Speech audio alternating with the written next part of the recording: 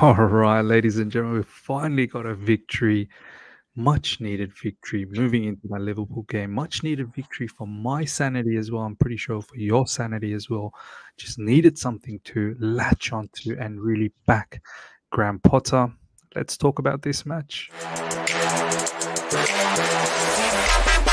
All right, all right, all right. Here we go. Back again on the other side of the coin. All right, welcome back to the other side of the coin, ladies and gentlemen. Chelsea one, Crystal Palace nil. Got my boy Ryan in the house.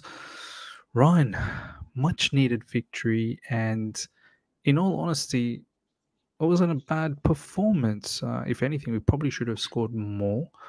Um, Palace obviously had their chances as well, chances as well, where Kepa's kept us in.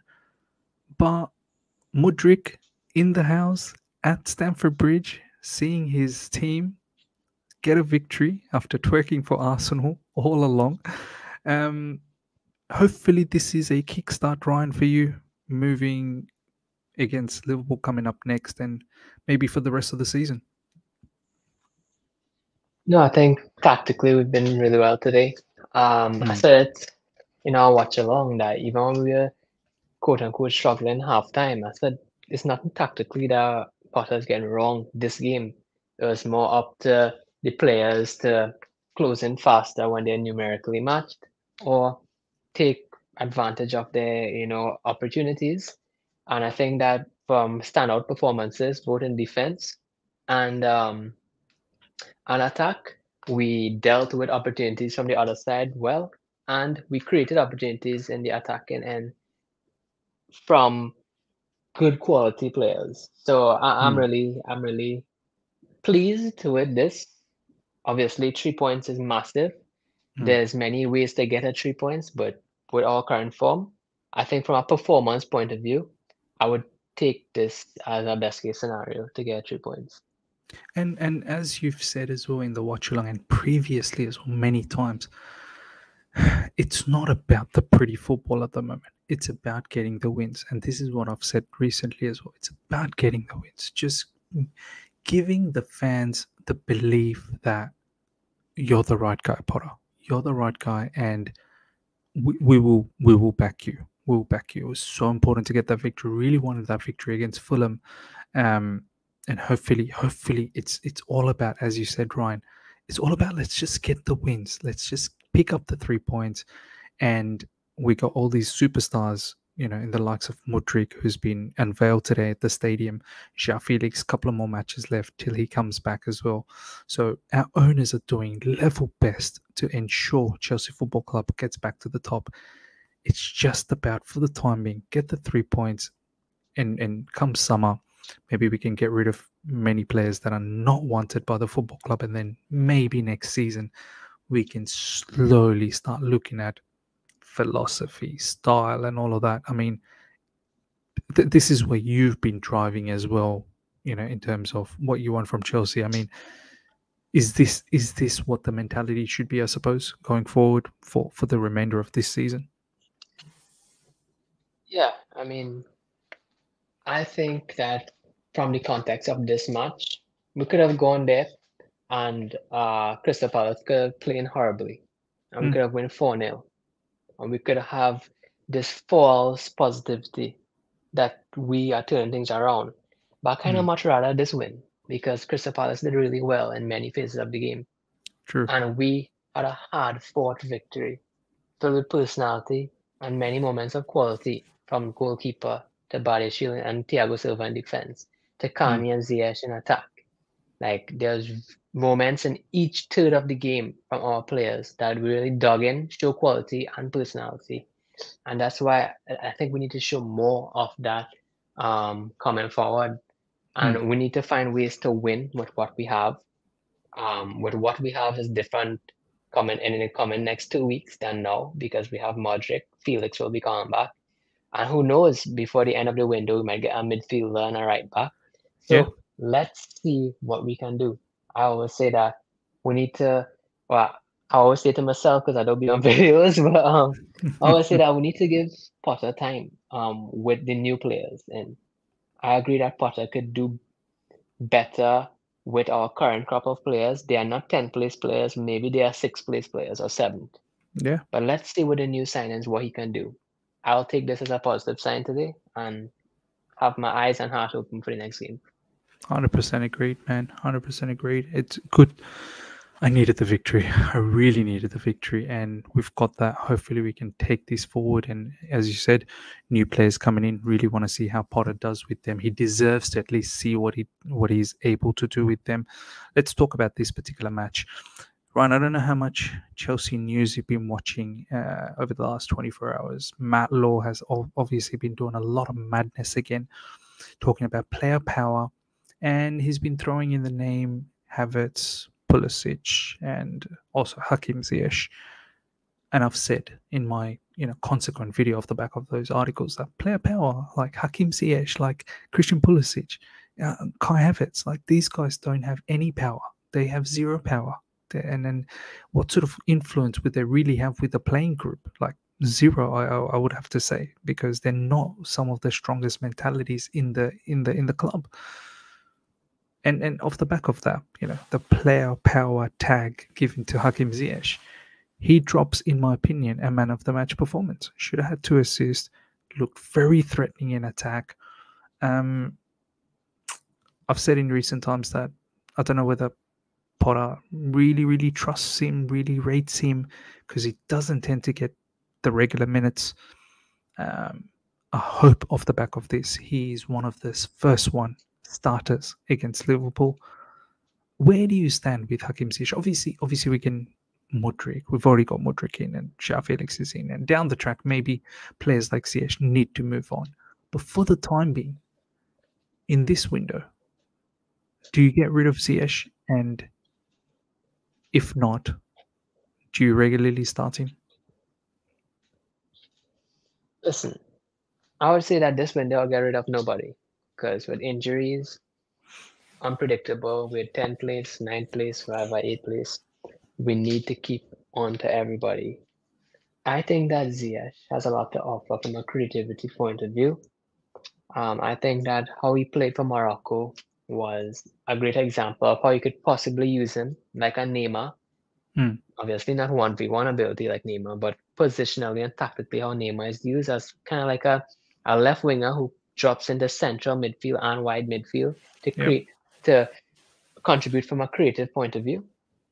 And with goals, I think Ziyech could do that, especially now you have players around him who could take on players 1v1, Mudryk, mm. Felix, mm. soon to be Nkunku on top you have players around Ziyech that quality that could allow him to play and do what he does best impact the game with passing, creating chances, crosses, shots, and goals. I think he's a player that you you could get three more years out of Ziyech at a top level if you use him the correct way. If you're going to use him as a 1v1 winger, sell. Sell. Because he, he just wouldn't. Yes, he would play good crosses from wide areas, etc. Mm. Yes, he could dribble really well, but from a PS point of view, no. So, yeah, I would say sell or keep Ziyech is all dependent on how the manager intends to use them. Yeah, agreed, agreed. Badiashile is really, really stepped up in this game. First start, really and he he was very, very good defensively, rock solid with the ball, very good as well. Didn't let anyone go past him.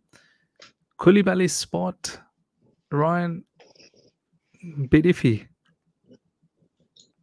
I always say to myself because, but big players have big responses, and I yeah. want to see how Koulibaly responds. The best players in the world, when they are out of the eleven, they come back into the eleven with a big message to the manager. Mm to, them, to themselves and to the teammates.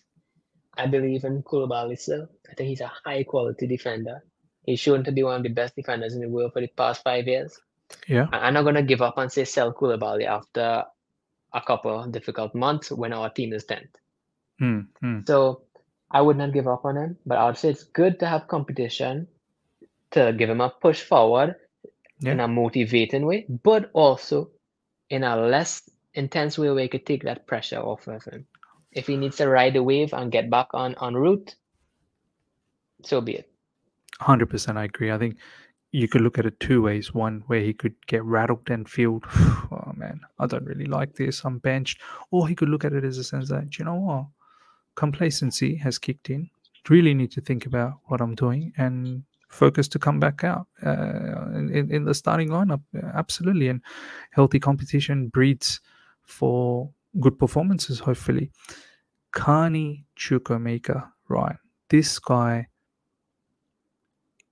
he's he's he's special, as you said in the watch along. He's special, and every Very single special. m- minutes he's getting, whether it's off the bench, whether today he starts, he's he's got it all, man. He's got the Mm. pace, he's got the power, he's got the technical ability, he's got that hunger to play aggressive football where you know he's looking for threatening passes up front. Um, I feel like he can play in midfield, he can play out wide. He's he's young, he's 18, a player, 19 or something like that. Man could probably even play wing back for you know. probably he could probably do all of that. I mean, Ryan, this guy, we do need to now slowly see a lot more of. I, I know a lot of people have been saying this. It's because he's not playing enough uh, because he's been injured. He's young. Don't want to get another player injured very young. No problems. Manage his time, he's looking good, man. He's What a looking very good. No, miss. I always say with young players, first, first, your foot in the door must be a raw materials. Hmm. Raw materials, as in, what is the primary attribute in your position? That is 1v1 ability, physicality, um, technical ability. These things is your primary attributes. Hmm. But how you use your raw materials dictates your end product, right? Correct. So it's like you need sugar to use it to make a cake, right? You can't use a bunch of black pepper. Some of these wingers we have have black pepper and we're trying to make cake. oh, You can make crab cake, but you can't make cake for dessert. Yeah, right? yeah, yeah.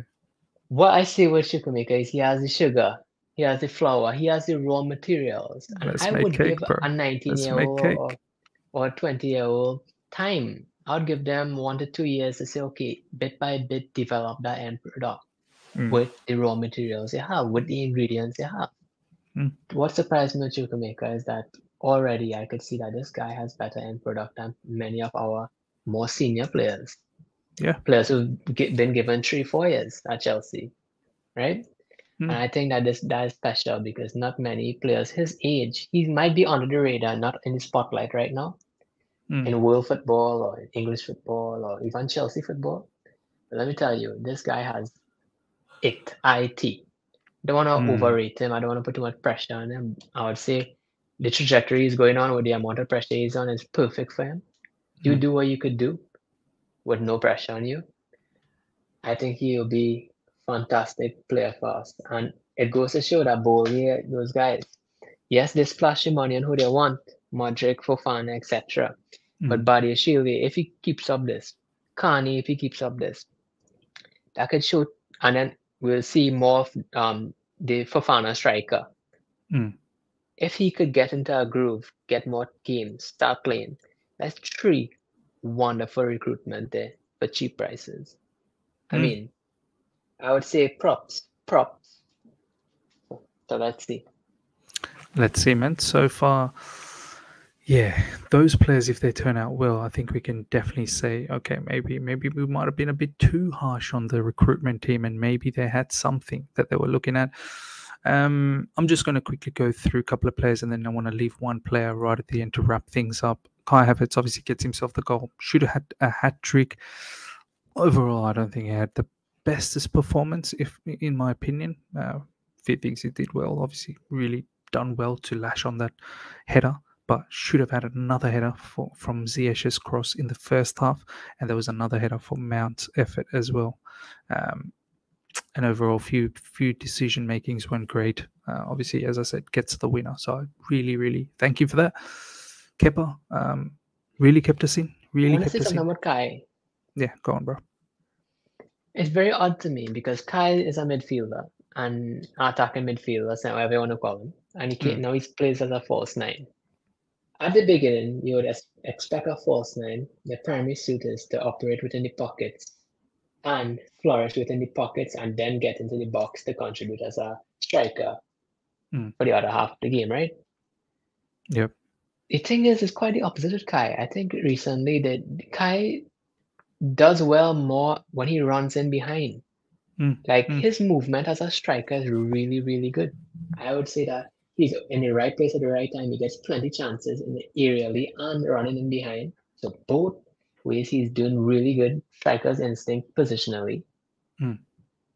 Finishing doesn't match his movement, unfortunately. Um, I think that he misses a lot of chances that a top striker wouldn't. But Mm. it's really odd to me that um, a person who's been a midfielder for so long, it's when he drops in the pockets, it's when He he, does, does. the worst. Worse, exactly, exactly. Back Strange. toward goal or front toward goal doesn't matter. eh, He just doesn't have an impact on the game. Even if he's not bullied, he just shies away from any responsibility in the pockets. And no matter if you're six foot eight or five foot ten, all strikers in modern football, when they need to drop in the pockets and impact the game. Don't care who you are. Yeah, hundred percent. uh, it's so odd that Kai is doing the things that we expect him to take, like the things we expect Kai to take time with, which is strikers' movement and instinct. He's doing Mm. that so good now. But the things we expect him to be good at, he isn't doing good. Yeah, and, and and you're right. Like he gets into these positions where he can have a header or he can have a, uh, you know, a tap in opportunity or whatever the case is. So you're right. His movement as a striker is probably very good, and things that we tend to believe he should be good at, where okay, he's not really a striker, should be a central attacking midfielder, tucks in into midfield, uh, into those pockets of spaces. As you said, he does not seem to have the control. He I mean, does look at not have the Felix in the control. pockets compared to Havertz. Oh, It's night and day. night and day. Night it's and not day. even evening and night. It's night and It's day. night and day. it's night and day. Um, Kepa for me was very good. A couple of last games, not good enough, and today kept us in in the first half. Definitely kept us in in the Great save. second half. Great saves. A couple of really, really good saves. Um, to wrap this up, ladies and gentlemen, I want to talk about Mason Mount. I mean, Ryan, with all these superstars that are coming through, um, Mudryk, obviously, as I keep saying, unveiled as a Chelsea player.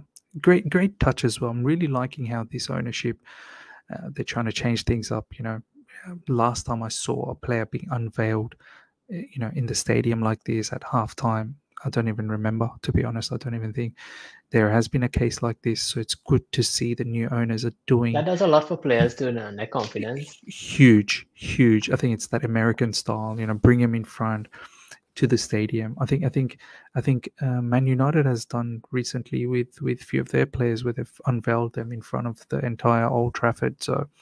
Um, it's good to see that. So it's good to unveil players like that, as Ryan said. It's good for the confidence. Fans get to celebrate you as well. You know, give you a round of applause obviously Joao Felix in on loan and potentially could be a permanent. Obviously, we've got Nkunku next season, and potentially there's a few more signings to happen this season. The way Mount has been playing, he's he's making crosses when there is no crosses evident. Yeah, Okay, there was one in the second half where he put on the plate for Havertz, but there's been plenty this match where it's just been rubbish. He takes shots when there's no shot at all on. He doesn't pass when there is a pass on. He passes when there is no pass on. Ron, you've said this before. Hard conversations, uncomfortable conversations are probably going to come for Chelsea Football Club when you see some of your players I called it. not being part. You called it. You called it, and I think we're getting into that level where I would. I be got cooked. surprised. You got cooked. You got. I, I would honestly be surprised with all these players once they're available for Graham Potter. How Mason Mount starts.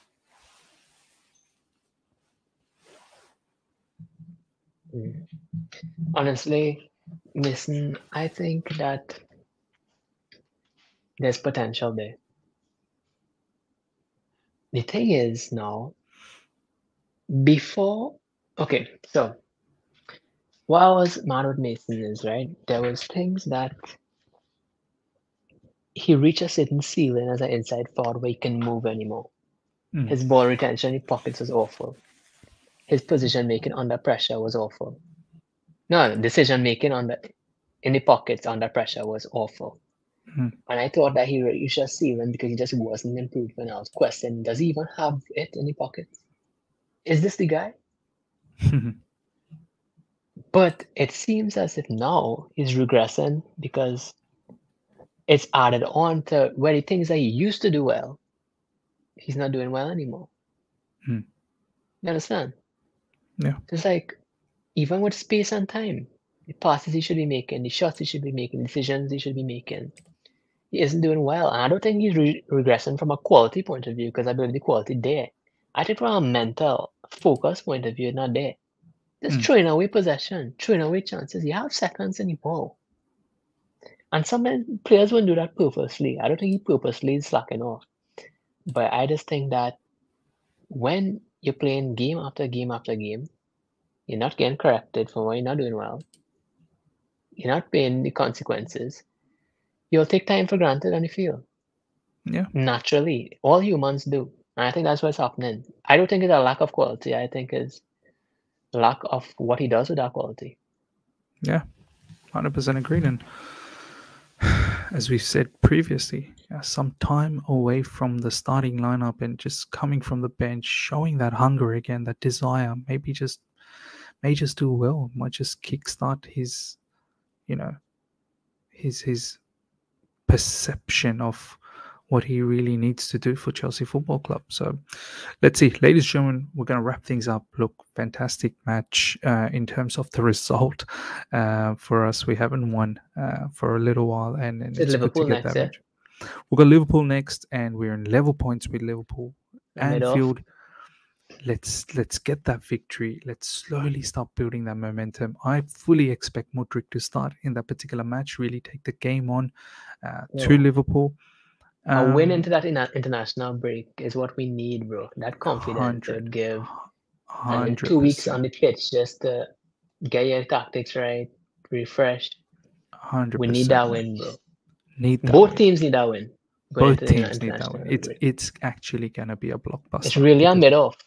It's Yeah, a mid table yeah. off. it's it's a, it's a mid off. It's a mid-off. Conference League off.